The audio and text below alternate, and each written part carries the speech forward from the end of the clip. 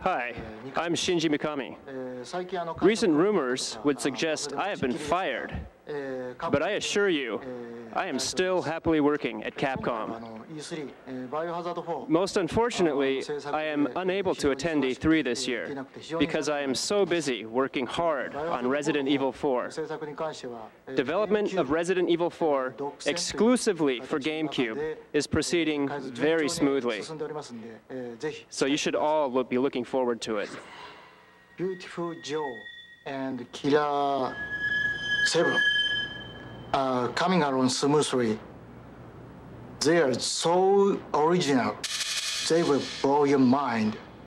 And one more thing Resident Evil 4 will be scary than ever before. Don't pee your pants.